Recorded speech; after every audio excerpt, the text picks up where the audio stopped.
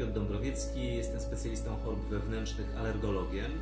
E, od e, ponad 10 lat e, jestem szefem Polskiej Federacji Stowarzyszeń Chorych na astmę, alergię, POHP. Oddychanie zanieczyszczonym powietrzem ewidentnie wpływa na czynność układu oddechowego. Płuca działają jak filtr. Filtrujemy wiele litrów powietrza poprzez minuty i godziny naszego życia. Osoby, które są bardziej aktywne, zużywają więcej powietrza, więcej filtrują tego powietrza.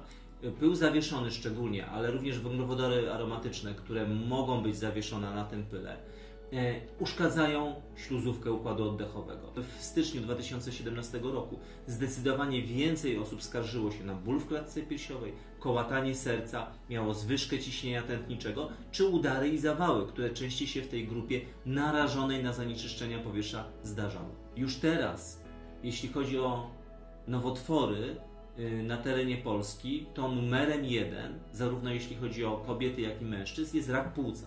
My, jako lekarze, martwimy się i mm, tak naprawdę y, trudno jest nam cokolwiek zmienić bez, y, bez współpracy z, z decydentami w tym zakresie.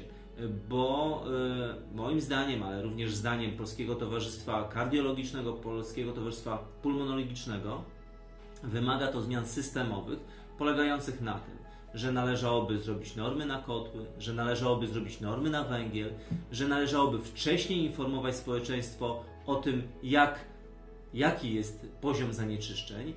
Widzę tutaj mm, jakby trzy poziomy. Poziom centralny, gdzie należałoby przeprowadzić e, zmiany ustawowe, e, poziom lokalny, gdzie poprzez e, mm, edukację decydentów możemy wpłynąć na to, jakie decyzje w zakresie dofinansowania, jakie decyzje w zakresie polityki proekologicznej będą podejmowane.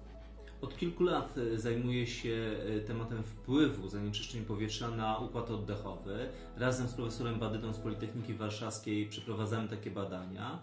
E, ostatnio odbyło się na terenie Warszawy.